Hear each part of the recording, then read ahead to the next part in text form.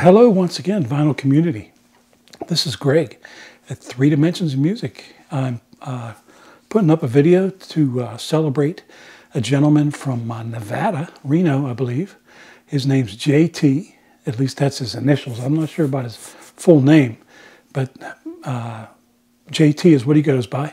His, uh, his channel is JT. Uh, Jesus Christ, what the hell was it? Record Room. JT's Record Room. Anyways, uh, he's celebrating 3,000 subs. He's well, he's over 3,000 subs, which is great news.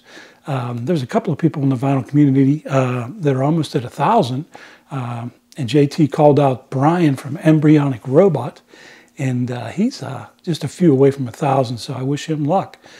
Uh, myself, JT, I'm at 292, so I'm almost one tenth of what you got. I'm as famous as I want to be, though. Hold, hold your horses, anyways. I just got an uh, email today, which kind of uh, is related to this. It, it, said that my SEO score was too low. Uh, I'm not sure what an SEO score is. Some of you probably do because you watch the analytics. I really don't peek at that stuff. Uh, it's not that interesting to me. But anyways, uh, my SEO score was low. It was zero out of 100. And I looked it up on the internet and it said it's good to have uh, 75, between 75 and 85 is pretty good. So I got a long way to go, whatever that SEO stuff is. Uh, I kind of got an idea what it is. It's about uh, attitude and uh, want to. And, uh, well, I have a lack of that and a lack of that and a lack of the other. But anyways, I'm participating in this contest to congratulate JT. I enjoy his channel. I wear this t-shirt, JT. Uh, if you can see it, stand up like everybody does. It says Vinyl Hound. And it was given to me a while back from a good friend, uh, very close friend of mine, and his wife, because uh, they know that I am a vinyl hound. But actually, I have the t-shirt, but you are the vinyl hound. Uh, between Bill's Garage and every other place you go to, and you let us go along with you, it's a lot of fun. Uh, for this contest, uh, JT said to uh, show three albums that are food related, uh, as far as foods in the songs or food on the covers. And uh, I got a little bit of both. And also uh, an album to recommend and a channel to recommend. Uh, I'll get the channel out of the way right away so I don't forget. Um, if you notice behind me, I have a new addition to my collection of menagerie. Um, I saw this at a, uh, a sale at the library, local library. Somebody gave it up and it was speaking to me. And as soon as I walked into the door, I made a beeline to it. And uh, if you noticed, uh, that guy is smoking a big stogie. And uh, most of you people know that watch me, watch Anthony at Gambler 812, 823, 812. I think it's 823. Uh, anyways, everybody knows Anthony. And that, to me, spoke to me like Anthony does. So he, I'm recommending Anthony at Gambler 812 yeah. Anyways, uh, that's that. That's out of the way. Three albums I chose. I'm sorry, I didn't take notes. First one, Bob James H. Uh, basically his eighth album. I was a big Bob James fan back in the day. It's on Tappan Zee uh, label. And uh, the reason I like Bob James is he always had some great musicians with him. He's a fantastic keyboardist. Uh, smooth jazz, a lot of people disdain this type of jazz, but I've I really cut my teeth on it. I like it very much, a lot of the smooth jazz that I have. And I have about 14 albums of Bob James. Big fan of his. As you can see, it's a nice, tasty hot dog. Uh, everybody loves hot dogs, right? It might be a potato bun, I'm not sure. I'm not a fan of mustard though, but give me that dog any day. Uh, here's the uh, gatefold. Very nice album. Uh, he has Grover Washington on this album with him. Uh, Jon Faddis. Who else? There's a great uh, horn section. Randy Brecker. Uh, you name it. There must be about 15 or 16 musicians on here.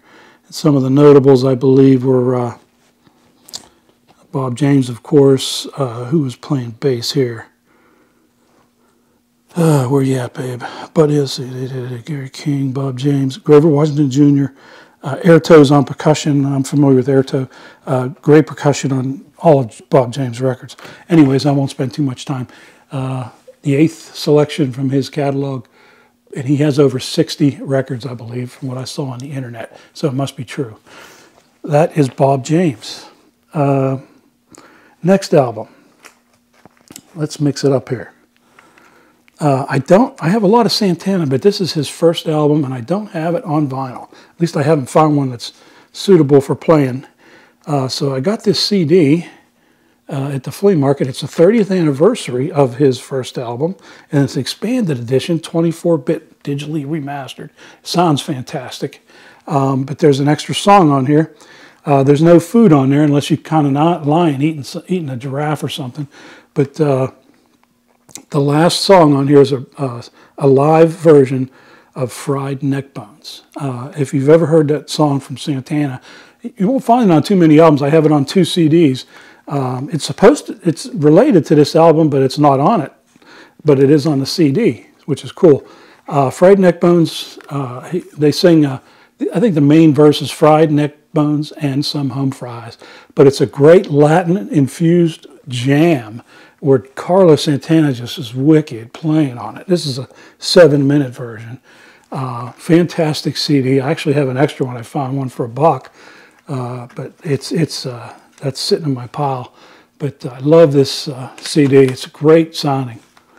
Santana 30th uh, anniversary. So fried neck bones. JT. And lastly, for the third selection, everybody knows the Rolling Stones. I picked uh, Let It Bleed because of that beautiful cake on there. I guess it was a no-name baker they chose to make that cake, and it made her famous. Uh, now, I don't believe that the, the uh, bicycle tire and the pizza and the clock face and the uh, uh tape can for the record, I guess, uh, was all put together on a platter, and then there's a record down there. You can see they're playing that record, and it's uh, they got all the guys in the band up on top. It's on London,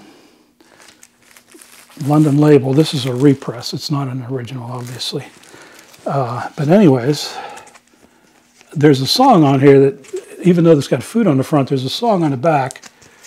Uh, this one here, you can't always get what you want. Now, there's a lot of great songs on here. Uh, Midnight Rambler's a favorite of mine. Uh, Let It Bleed, Monkey Man, uh, Gimme Shelter. A lot of great songs on this album. You can see the back, they, they made a mess of that cake. Somehow they got pizza and they broke the record and all that. You know, Stones do party. But anyways, uh, you can't get what you want. I used to, uh, when I drove around in the car with my wife and kids in the back seat, that song would be playing on the radio all the time. And uh, when my kids were just whining about whatever, that song came on, and I said, "You hear that song, kids? You can't always get what you want, but if you try sometimes, you get what you need. And I think they remembered that all through their growing up. They hate the song, but I think they know what I meant when I said live by it.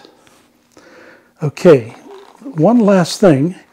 Uh, JT says recommend a record. Now I picked up, there's so many different records you can recommend, but I don't see this band getting much love on the uh, Let's see if I can take this out without dropping it. It's a double album.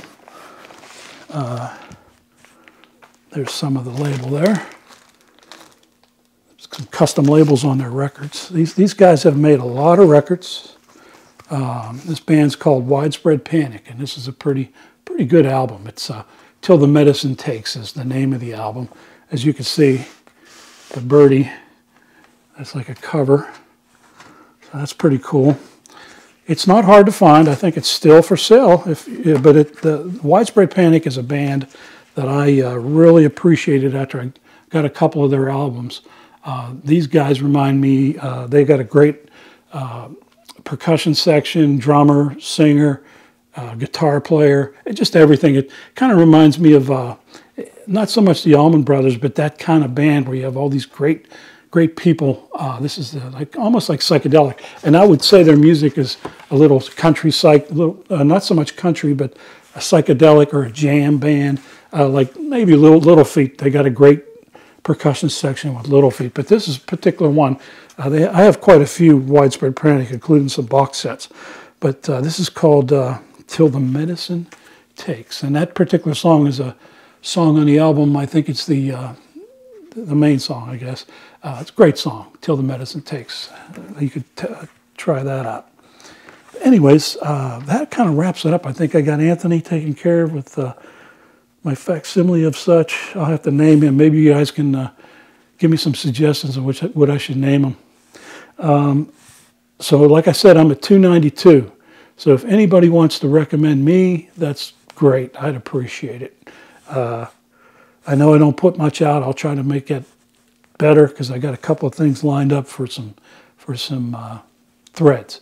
Um, obviously, I had a little problem with uh, uh carpal tunnel and uh, uh, some type of tendonitis, so I got a pain sandwich here. So that kind of messed me up. But anyways, thanks for watching. I appreciate it. Like and subscribe. And I want to say bye to my beautiful granddaughters, Madison, Evelyn, London, and Charlotte. Love you all. Bye-bye.